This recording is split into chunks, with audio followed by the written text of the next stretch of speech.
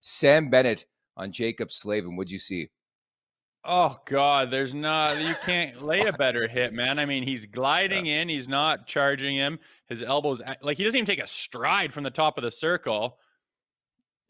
Oh, donkey, like you're playing hit hockey, dude. Like, fuck me. Protect yourself. You're leaning forward, looking at the guy about to bury you, just assuming they're so used to not getting hit.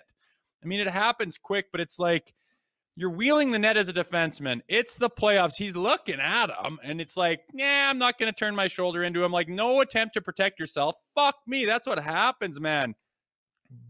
Bong. And I mean, fuck, it sucks. He gets up. He's not KO'd.